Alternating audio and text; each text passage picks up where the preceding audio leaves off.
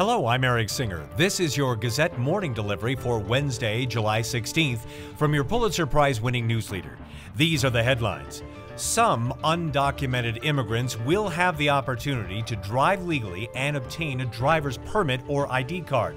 It's part of a new state law that goes into effect on August 1st.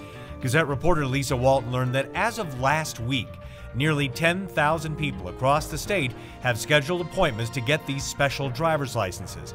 It will have a black strip across the top of the license that reads, Not for federal ID, voting, or public benefit purposes.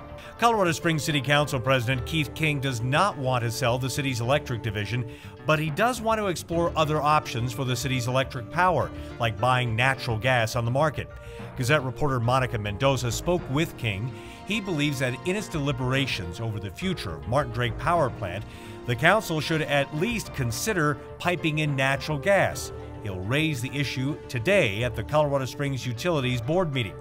With a fire, the Drake coal fired power plant, and an offer from Xcel Energy to buy the utility's electric division, Keith King believes it's a perfect time for the council to be more aggressive in how it runs utilities. We're going to be preparing a banana bread French toast. It's one of our really popular items on the breakfast menu. Food editor Teresa Farney is checking out this mucho delicioso breakfast treat in Table Talk.